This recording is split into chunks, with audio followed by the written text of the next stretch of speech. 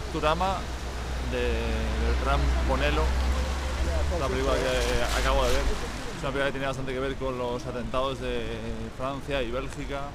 Eh, tiene que ver porque hay unos atentados. eh, hay unos chavales adolescentes eh, que bueno se ve que van van andando por la calle, por el metro, por los centros comerciales eh, de noche se miran, eh, tú les miras y dices, bueno, esto se, ve que tienen algo que ver efectivamente con el asunto de que vayan explotando edificios, pero es algo así parecido a Elephant o a películas estas, ¿no? De seguimiento, ¿no? Con cámara, como estoy yo, pero yo hablo, es que ellos no hablan, o sea, ellos están, estás además de espaldas, de espaldas, o sea, a en general el plano de espaldas eh, tiene un tiempo récord que yo aquí a los 50 minutos dejan de andar y tú les sigues de espaldas y empiezan a hablar.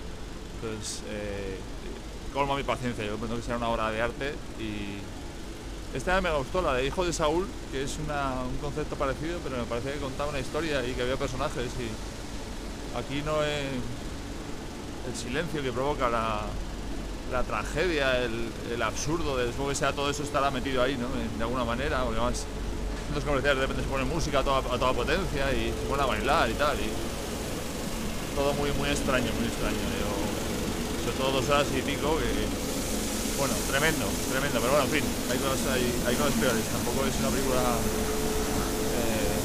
eh, ni que te agreda, ni que te moleste, simplemente que te, que te desconcierta. Yo que quiere, quiere jugar a eso y en mi caso lo consigue plenamente. Bueno, eh, no, no me ha generado un grandísimo entusiasmo, pero, pero bueno, a ver qué nos depara el resto de la mañana, esta mañana que sigue. No sale ni un rayo de sol este año en San Sebastián, pero bueno, no pasa nada. San Sebastián es bella, toda ella, aunque llueva.